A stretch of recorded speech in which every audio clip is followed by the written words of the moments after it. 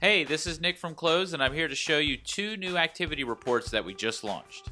The first is a completely overhauled activity overview report that is meant to serve as a real time dashboard of your team's activity and results. You can customize the dashboard by adding and rearranging the tiles based on which metrics are most important to you.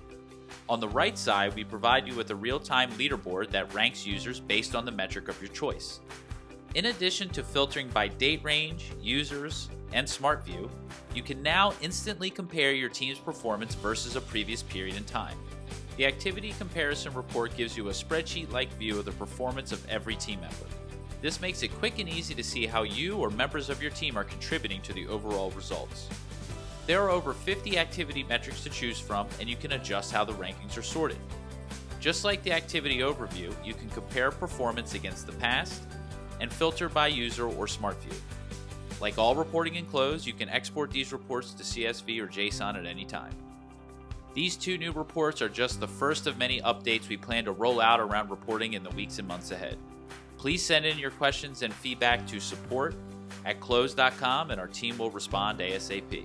Happy selling!